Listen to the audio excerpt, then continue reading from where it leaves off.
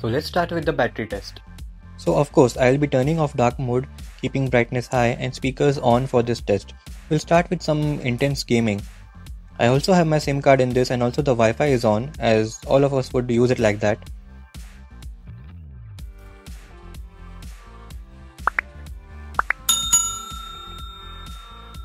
After 30 minutes of Call of Duty in the highest settings, our battery percentage is 94%.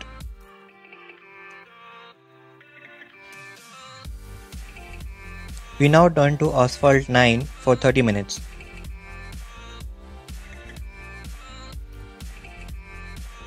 And after 30 minutes, our battery percentage is 85%. Now let's do some other heavy task that is Dolby Vision HDR video recording. Do note, I also roamed around the house so that the phone actually processes images in Dolby Vision HDR rather than just uh, black. And uh, as expected, the battery took a big hit and the numbers were reversed from 85 to 58.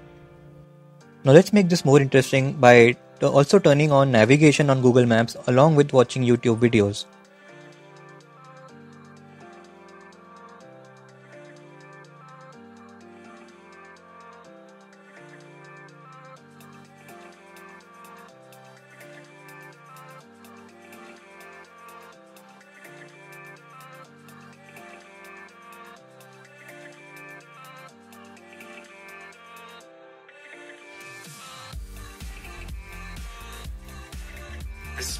Boss.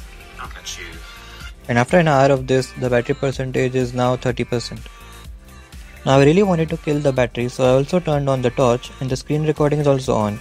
And now I played Asphalt on full volume to really break it.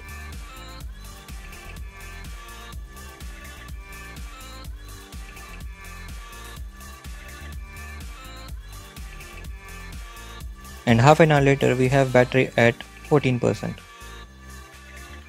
Note that I did not turn the battery saver on. So I continued this till we dropped to 10%. At about a screen on time of around 3 hours 40 minutes. So for a heavy moderate to heavy use you can expect screen on time of about 3 hours 40 minutes until you drop to 10%. I won't recommend to wait until you drop to 0 though. Now let's get to the real world usage that I've been observing since I've been using this phone. So regarding its real world usage, I can say that you can get through the day. Well, not that easily, but yeah, you can get through the day. So if you see the statistics on the screen, then I'm I was able to get about 23 24 hours on this uh, phone and still have about uh, 10 to 11% battery left.